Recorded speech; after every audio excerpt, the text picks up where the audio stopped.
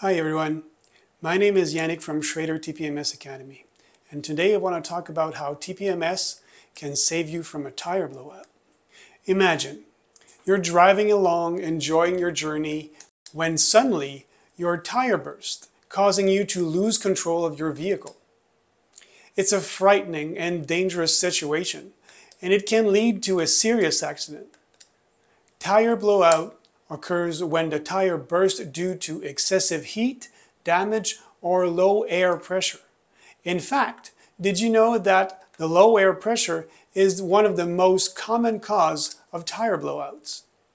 When your tires are underinflated, they struggle to support the weight of your vehicle and the increased friction and the heat can spell trouble.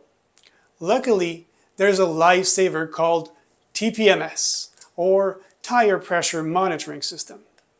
Since 2008, it has been a mandatory feature on all vehicles sold in the United States.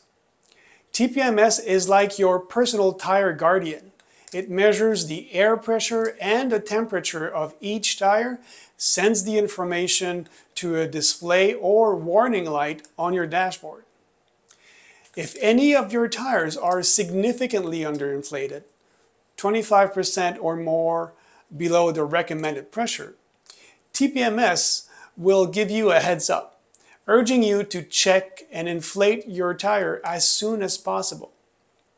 But remember, whether your vehicle has TPMS or not, we recommend that you check regularly your tire pressure with a manual gauge. TPMS is not a substitute for proper tire maintenance, but rather an extra layer of protection that helps you avoid dangerous situations. By keeping your tire properly inflated, you're not only extended tire lifespan, but also improving your fuel economy and most importantly, prevent tire blowout that can put your life at risk. So take care of your tires.